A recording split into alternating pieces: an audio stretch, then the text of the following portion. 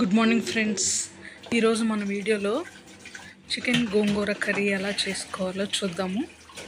మొదటగా ఒక కడాయి తీసుకొని దానిలో ఆయిల్ వేసుకొని సరిపడినంత ఆయిల్ వేసుకొని ఆనియన్ పచ్చిమిరపకాయలు కట్ చేసిన వేసుకోవాలి. తర్వాత శుభ్రంగా కడిగిన గోంగూర వేసుకోవాలి. గోంగూర ఆల్మోస్ట్ ఉడికింది అనేటువంటి సమయంలో టమాటా ముక్కల్ని ఒకటి లేదా రెండు టమాటా కాయల్ని తీసుకొని ముక్కలుగా కట్ చేసుకొని వేసుకోవాలి.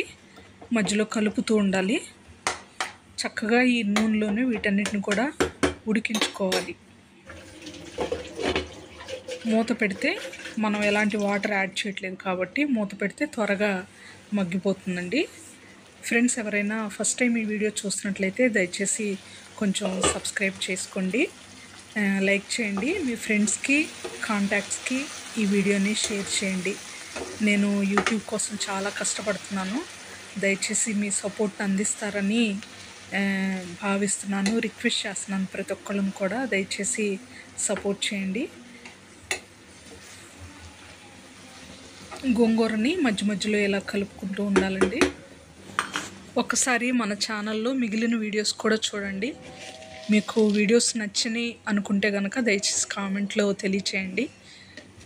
ఫర్దర్గా మీకు ఎలాంటి వీడియోలు కావాలి ఎలాంటి వీడియోస్ చూడాలనుకుంటున్నారు అనేది కూడా కామెంట్ సెక్షన్లో తెలియచేయండి. ఆంధ్రాలో గోంగూర చాలా స్పెషల్ అండి. ఇక్కడ చూసినట్లయితే గోంగూర ఉడికిన తర్వాత తగినంత ఉప్పు కారం గోంగూరకు మాత్రమే సరిపడా వేసుకుంటున్నాను. ఎందుకంటే చికెన్ కర్రీని సపరేట్గా చేస్తూ దానిలో మళ్ళీ సాల్ట్ యాడ్ చేసుకుంటాం కాబట్టి గోంగూర వరకు మాత్రమే సాల్ట్ చిల్లీ పౌడర్ ఇక్కడ నేను యాడ్ చేసుకున్నాను. ఆంధ్రాలో గోంగూర చాలా ఫేమస్ అండి. ప్రతి భోజనాల్లో కూడా గోంగూర వేయకుండా భోజనాలు అనేవి ఉండవు అనమాట ఆంధ్ర మాత అని కూడా అంటారు. గుంటూరులో చాలా విరివిగా లభిస్తుంది ఇది. కొండ ప్రాంతాల్లో కూడా కొం కొంత గోంగూర అనేది దొరుకుతుందండి. దాన్ని కొండ గోంగూర అంటారు. కాడలు ఎర్రగా ఉన్న వాటిని కొండ గోంగూర పుల్ల గోంగూర అని కూడా అంటారు.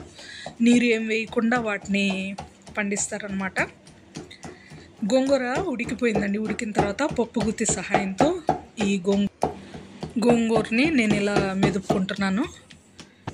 మెత్తగా పేస్ట్ అవ్వాల్సినటువంటి అవసరం లేదండి. ఆల్మోస్ట్ ఒక ఎయిటీ పర్సెంట్ మెదిగితే సరిపోతుంది. తర్వాత వేరే కడాయిలో కొంచెం ఆయిల్ వేసుకొని దంచిన వెల్లుల్లి రెమ్మలను వేసుకొని ఫోర్ ఫైవ్ తర్వాత పోపు దినుసులన్నింటినీ వేసుకున్నాను. పచ్చిశనగపప్పు జీలకర్ర మినపప్పు ఎండుమిరపకాయలు వేసుకున్నాను పోపులో. తర్వాత కొత్తిమీర కరివేపాకు కూడా వేసుకోవాలి. ఇది ఆప్షనల్ అండి. కొంతమంది గోంగూరలో కరివేపాకు వేయడానికి ఇష్టపడరు. నేనైతే కంపల్సరీగా వేస్తాను ప్రతి కర్రీలో. పోపు కంప్లీట్గా వేసుకున్న తర్వాత ఈ పెద్ద బాండీలో నుండి చిన్న సైజ్ క్యూట్ బాండిలోనికి నేను ఈ కూరని షిఫ్ట్ చేసుకుంటున్నాను.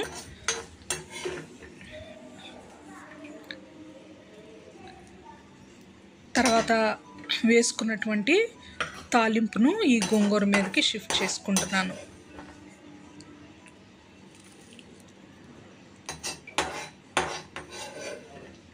తాలింపు అంతా గోంగూరకి కలిసే విధంగా ఒక స్పూన్ సహాయంతో మనలా మనం దాన్ని అంతటిని కూడా మిక్స్ చేసుకుందాము.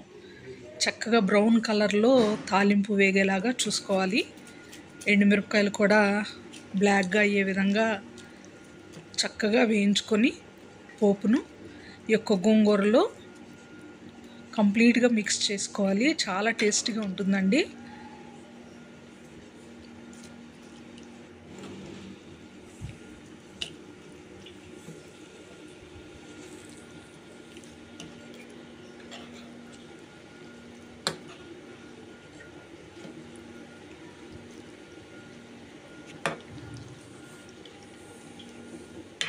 ఈ వీడియో చూస్తున్న వారికి ఎవరికైనా గోంగూర అంటే ఇష్టం ఉంటే నాలాగా గోంగూర ఫ్యాన్స్ అయితే మీరు కూడా తప్పకుండా ఒక లైక్ చేయండి కామెంట్ సెక్షన్లో కూడా తెలియచేయండి.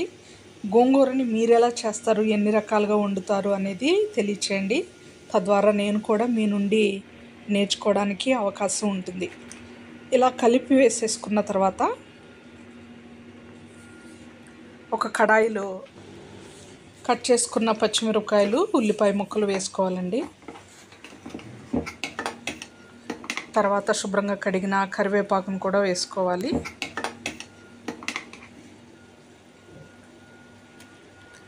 ఇది వేగిన తర్వాత అల్లం వెల్లుల్లి చెక్క లవంగ ఒక ఉల్లిపాయ కలిపి పేస్ట్ చేసుకున్నటువంటి మిశ్రమాన్ని వేసుకోవాలి.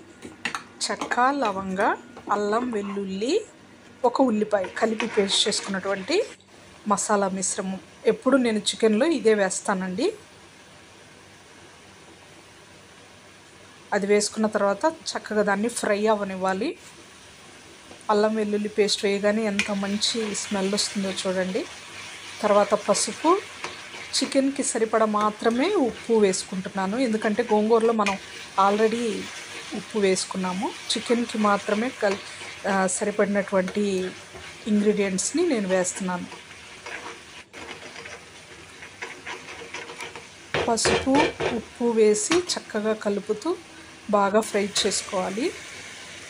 మాడకుండా చేసుకోవాలి. నేను ఎక్కువ ఇనప బాండిలో వంట చేస్తుంటానండి ఎందుకంటే ఆరోగ్యానికి మంచిది త్వరగా ఉడుకుతుంది. గ్యాస్ వేస్ట్ అవ్వకుండా కూడా ఉంటుంది. మసాలా వేగిన తర్వాత శుభ్రంగా కడిగి పెట్టుకున్నటువంటి హాఫ్ కేజీ చికెన్ పీసెస్ని నేను బాండీలో వేసుకున్నాను.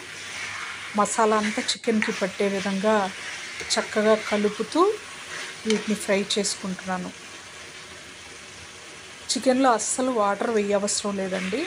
చాలామంది చాలా చాలా వాటర్ వేసి చికెన్ కర్రీని ప్రిపేర్ చేస్తూ ఉంటారు. వాటర్ వేయకుండా చేసి చూడండి చాలా టేస్టీగా ఉంటుంది.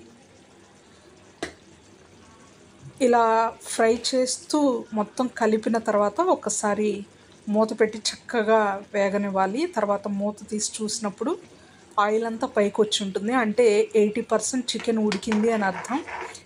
ఈ ప్లేస్లో అంటే అట్ దిస్ పాయింట్ మనము సరిపడిన కారాన్ని యాడ్ చేసుకుందాము. కారం యాడ్ చేసిన తర్వాత కూడా చక్కగా కలుపుకోవాలి. చూడండి చికెన్కి మంచి రంగు మంచి వాసన రుచి అయితే అల్టిమేట్గా ఉందండి. నేను ఆల్రెడీ చికెన్ గోంగూర కర్రీ టేస్ట్ చేసిన తర్వాత ఈ వీడియోని అప్లోడ్ చేస్తున్నాను. ఎవరైనా ఇంతకు ముందు గోంగూర చికెన్ ట్రై చేసి ఉండకపోతే ఒక్కసారి ట్రై చేయండి. వీడియోలో నేను చూపించిన విధంగా ట్రై చేసి ఎలా ఉంది మీకు నచ్చిందా మీ ఇంట్లో వాళ్ళకి నచ్చిందా అనేటువంటి విషయాన్ని కామెంట్ సెక్షన్లో తెలియచేయండి. తప్పకుండా ట్రై చేయాలనిపిస్తుంది తప్పకుండా తినాలనిపిస్తుంది. మౌత్ వాటరింగ్ రెసిపీ అండి ఇదైతే. చికెన్ ఆల్మోస్ట్ ఉడికిపోవస్తుంది మరలా ఒకసారి మూత పెట్టాను. మూత తీసిన తర్వాత చూసారు కదా?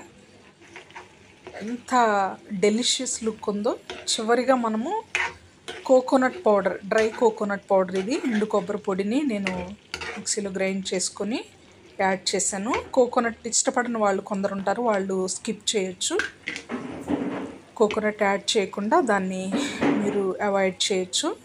చివరిగా లవ్లీ కలర్లో ఉన్నటువంటి కొత్తిమీరను ఫ్రెష్ కొత్తిమీర అండి ఇది.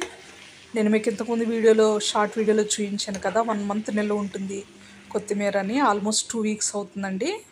ఆ కొత్తిమీరను చాప్ చేసుకొని చిన్న చిన్న పీసెస్గా కట్ చేసుకొని చికెన్లో యాడ్ చేశాను. ఇప్పుడు చివరిగా ఇందాక మనం తయారు చేసి ఉంచుకున్నటువంటి గోంగూరని చికెన్లో యాడ్ చేసుకుందాం. యాడ్ చేసుకొని శుభ్రంగా దాన్ని కలుపుదాము. దాన్ని దీన్ని కలిపి మిక్స్ చేసి ఒక టూ మినిట్స్ వేగనిస్తే సరిపోతుందండి. చూడండి ఎంత నోరూరించే కలర్లో ఈ చికెన్ గోంగూర కనబడుతుందో చూడండి. ఇది రైస్లోకైనా చపాతీస్లోకైనా బాగుంటుంది. బగారా అన్నంలోకి బిర్యానీలోకి వెజ్ పులావ్లోకి చాలా చాలా చాలా టేస్టీగా ఉంటుందండి. నేనైతే ఈరోజు వెజ్ బిర్యానీ చేశాను. చికెన్ గోంగూర కర్రీ చేస్తున్నాను కదా అని. ఇదండి వాళ్ళ వీడియో. మీకు నచ్చిందని అనుకుంటున్నాను. నచ్చితే లైక్ చేసి షేర్ చేసి సబ్స్క్రైబ్ చేయండి. మరో మంచి వీడియోతో త్వరలో కలుద్దాం. అంతవరకు సెలవు. Thank you so much for watching.